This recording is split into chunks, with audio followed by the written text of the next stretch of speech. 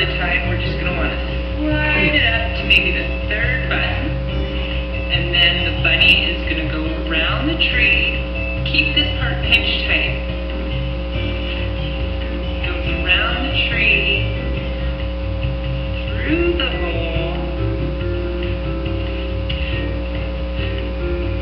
back around the tree, and then